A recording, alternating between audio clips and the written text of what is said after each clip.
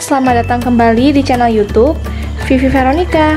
Di video kali ini kita akan membuat olahan santan dan juga tepung.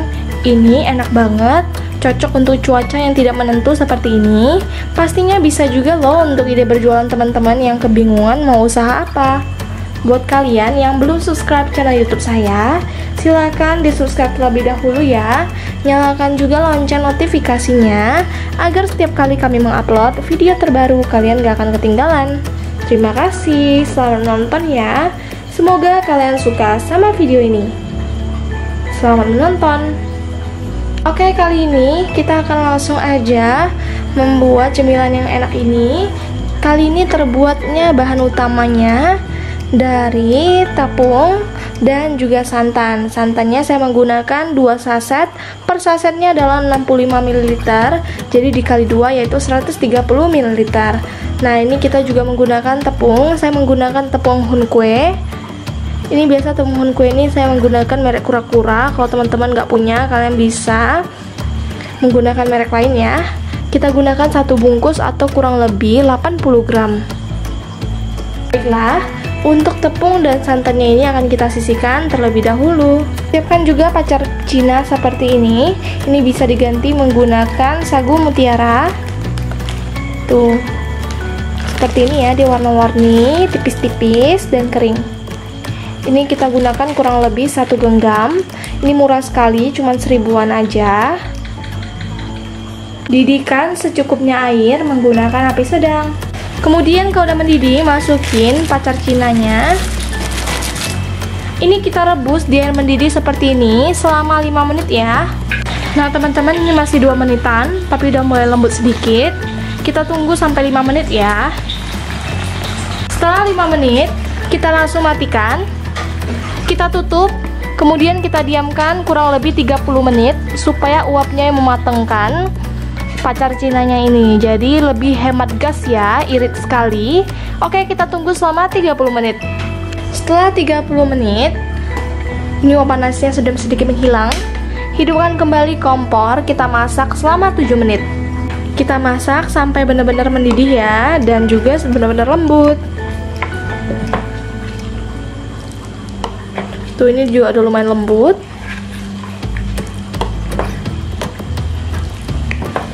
Begitu juga kalau kalian pakai sagu mutiara.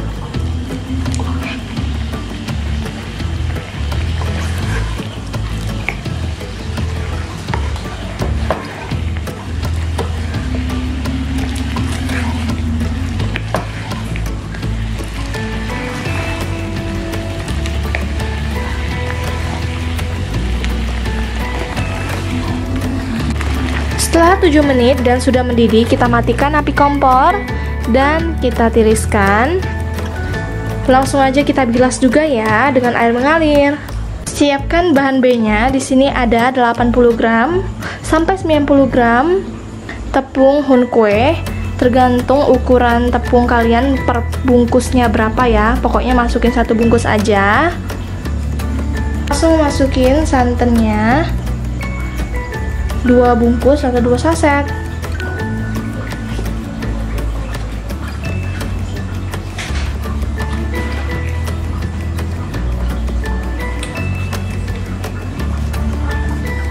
Sejumput garam.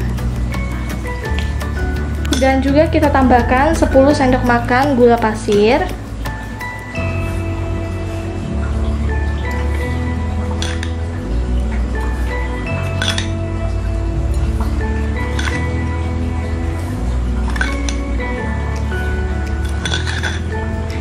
Ini disesuaikan dengan selera masing-masing juga ya. Jika suka manis, silahkan tambahkan lagi. Jika suka kurang manis, silahkan dikurangin. Kita masukin air sebanyak 600 ml, tapi saya masukin kurang lebih 100 ml dulu.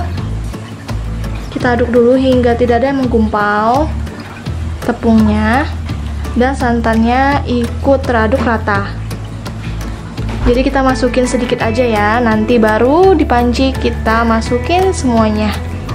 Biar lebih gampang nanti larutnya.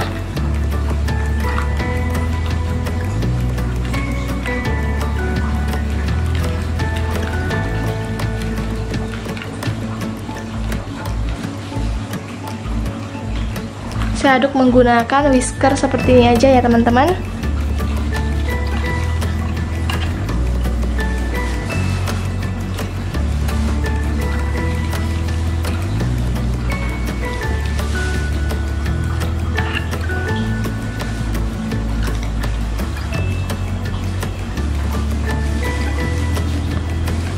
Oke teman-teman ini tepungnya udah tidak ada yang bergerindil lagi.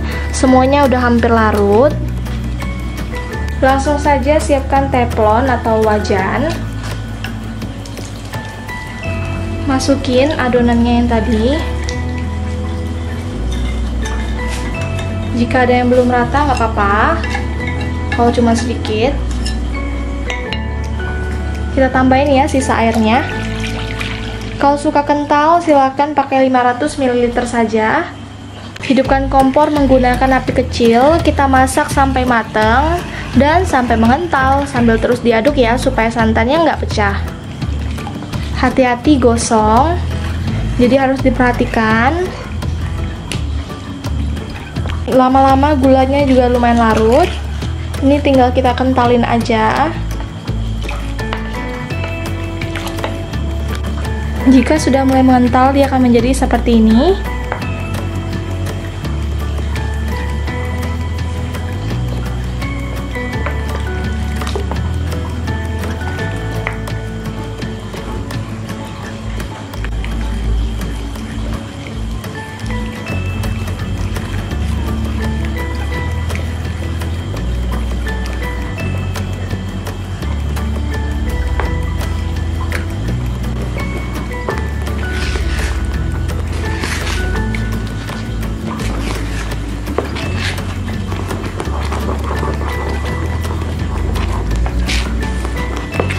Ini sudah hampir semuanya mengental.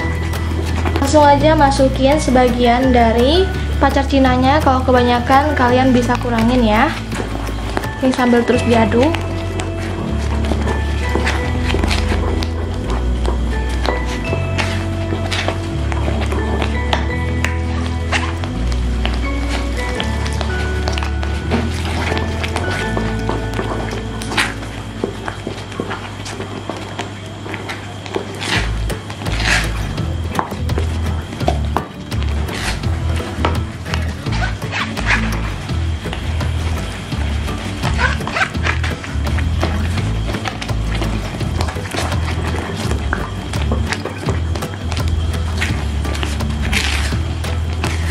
Jika sudah lembut, teraduk rata seperti ini, sudah bisa kita matikan api kompor.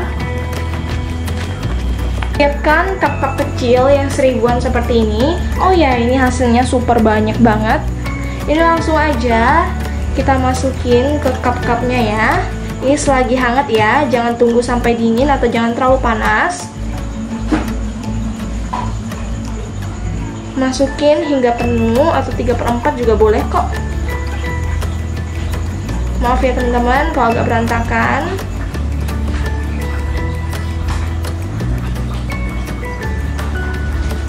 Lakukan hingga habis. Teman-teman ini udah selesai. Ini kita diamkan hingga padat seperti ini atau bahkan bisa masukin ke kulkas. Makannya enak banget ini. Lumer kalau saya sih sukanya anget-anget ya nggak terlalu padat. Hmm wangi banget Nyam. Enak, buruan kalian cobain ya. Dijamin tidak nyesal. Terima kasih sudah menonton video YouTube dari kami. Jangan lupa subscribe, like, komen, dan share ke teman-teman kalian semuanya ya. Sampai jumpa kembali.